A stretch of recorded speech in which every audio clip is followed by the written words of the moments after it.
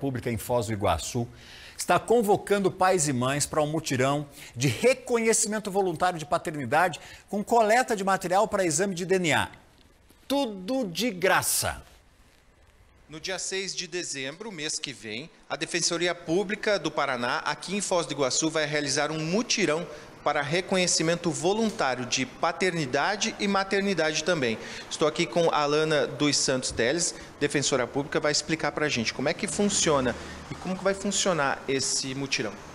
Então, o mutirão reconhecendo direitos vai acontecer aqui na sede de Foz do Iguaçu, localizada na rua Antônio Raposo, 923, uma quadra antes da Sanepar. É, para tanto, a pessoa, é, a família, na verdade, a criança, adolescente, o suposto pai ou a suposta mãe e o responsável tem que vir aqui munidos de documentos de identificação, comprovante de residência e comprovante de renda. Será feita uma breve triagem socioeconômica e é, já será feita a coleta aqui mesmo no dia. Esse projeto do Reconhecendo Direitos tem como objetivo reduzir os índices de crianças e adolescentes sem pai ou mãe registral. Então é importante, é, foi, foi feita uma pesquisa das associações de registradores e foi identificado que aqui em Foz, especificamente, existe um grande percentual de crianças e adolescentes sem pais ou mãe é, no seu registro de nascimento.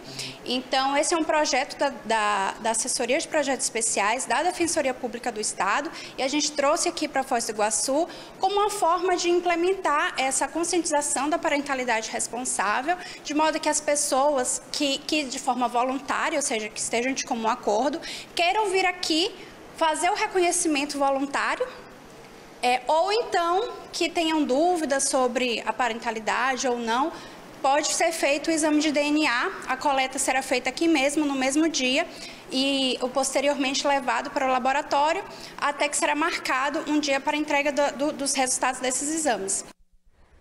Olha aí que maravilha. Então vamos lá aproveitar, rapaziada. Homens e mulheres em Foz do Iguaçu